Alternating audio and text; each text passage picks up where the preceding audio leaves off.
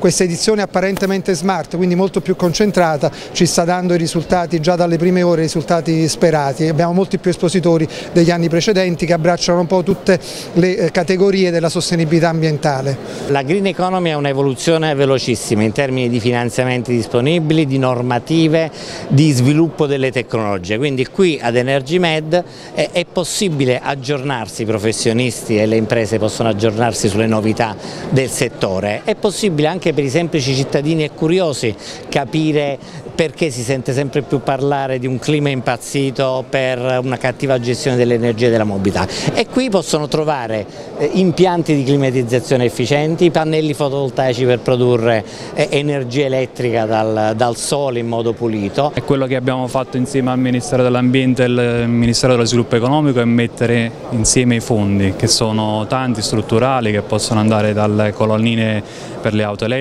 alla mobilità sostenibile, all'incentivazione incentivi ovviamente per gli autobus elettrici, tutte cose che, tutti risultati che i cittadini vedranno da qui a breve.